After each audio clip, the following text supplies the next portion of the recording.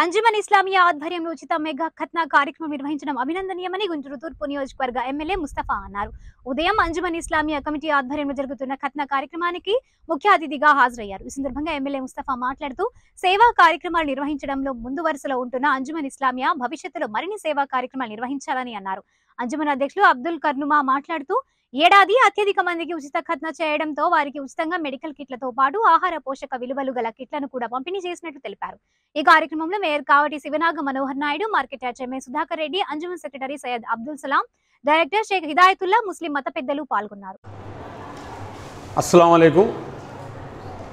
ఈరోజు గుంటూరు నగరంలోని అంజుమన్ ఇస్లామా కమిటీ ఆధ్వర్యంలో మరి ఉచిత ఖత్నా కార్యక్రమం విజయవంతం చేసినందుకు గుంటూరు నగర ప్రజలందరికీ కూడా హృదయపూర్వక ధన్యవాదాలు తెలియజేస్తూ ముస్లింల ఆచారం ప్రకారం ప్రతి ఒక్క అబ్బాయికి ఖత్నా చేయాలి కాబట్టి మరి ఈరోజు ఉచితంగా అంజుమన్ కమిటీ ఆధ్వర్యంలో నిర్వహించిన ఉచిత ఖత్నా ప్రోగ్రాంలో సుమారు నాలుగు వందల యాభై మంది పాల్గొనడం జరిగింది.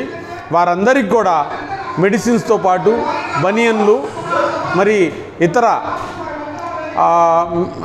అంటే ఖత్నా చేసిన తర్వాత రక్త రక్తం పోయిద్ది కాబట్టి వారందరికీ కూడా పౌష్టికాహారం కావాలి కాబట్టి అంజుమన్ కమిటీ ఆధ్వర్యంలో వారందరికీ కూడా పౌష్టిక ఆహారం కూడా ఇవ్వడం జరిగింది.